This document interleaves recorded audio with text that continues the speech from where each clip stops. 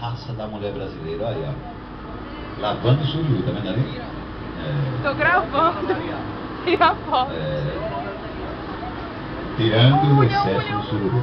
Olha aqui, gente, aqui do lado direito, vocês têm esses barcos grandes. Esses são rebocadores, né? Vão buscar e levar navio em alto mar. Isso aqui, ó, está certa. É, eles rebocam navio. tá?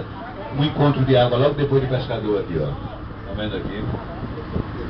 Capibaribe encontrando-se com a bacia do Pino, olha aí. Estão vendo aí? Estão vendo que a água tem mais movimentação? Isso não é só afora onde o barco passou aqui.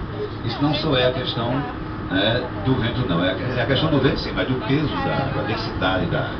Bom, toda essa extensão aqui, gente, é bacia do Pina. Aquelas duas torres grandonas ali, é tão bonitinha, né? Ninguém via um trabalho sério de saneamento ali, viu?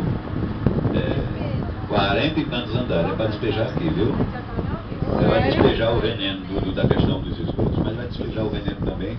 Da, olha, está fazendo já um pia bem grande ali, ó. Jet ski, lancha, para acabar o resto dos peixes que tem por aqui. A lei dizia 30 metros do leito do rio, ali não tem um metro. Muito bem. Aqui, ó, do lado esquerdo, direito ali, ó. Casa de banhos, onde vocês vão pagar o jantar pra gente, né? Ganharam muita coisa, seis pedidos. De palafita. Mas pra cá, um pouquinho direito, à direita, existia uma casa de banhos mesmo. A galera vinha tomar banho aí nas piscinas naturais, né?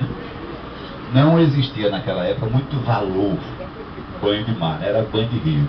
E os rios nossos permitiam, né? O grande tchan era tomar banho lá na Caxangá, lá pé- ali no Golf Club. Pronto, ali a galera levava a farofada, a meninada toda, e botava para arrebentar, para ser de bar. Outro lugar, Poço da Panela. Água para beber, iam buscar lá, né?